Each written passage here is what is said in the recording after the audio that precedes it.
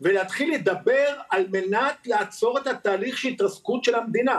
וזה מה שקורה עכשיו. יצחק, היום אה, דווח בחדשות 12 אצל העמיתים שלנו, שראשי מערכת הביטחון, ראש המוסד, שב"כ וצה"ל, אה, כנראה חושבים, שוקלים, לדבר אלינו אה, לציבור. צריך לומר שבדוברות של שלושת הארגונים הללו, שלושת הארגונים הללו הכחישו את הדברים הללו.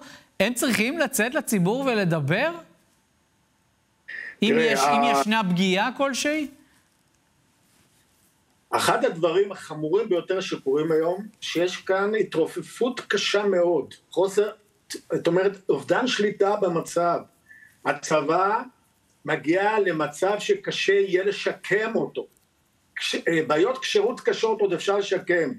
את הנושא של אי התייצבות לצבא וכל מה שזה גורם פגיעה ברעות, בערבות הדדית, בלכידות, כבר אי אפשר לשקם. הציבור צריך לדעת שאנחנו הולכים לחורבן הבית השלישי אם לא יעשה פה מעשה. אפשר להאשים את אלה שלא רוצים להתגייס, אבל זו עובדה שזה קורה. אני מאוד לא אוהב את זה.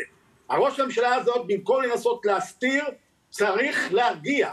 הוא היחידי שיכול להגיד, פוס, לא משחקים, בואו נייצב את המצב, נראה מה עושים. והוא לא עושה ואני חוזר לשאלתי, ראשי מערכת הביטחון צריכים להתייצב אל מולנו, אל מול הציבור, כנציב קבילות החיילים, כמי שהיה מפקד הגיס הדרומי, כמי שמכיר את המערכת. אתה חושב שזה מה שהם צריכים לעשות היום?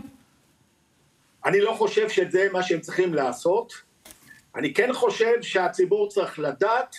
אני חושב שוועדת זכות וביטחון הגיע הזמן שתפתח את הפה ותדבר על המצב. אני חושב שחברי הקבינט צריכים להגיד מהו המצב.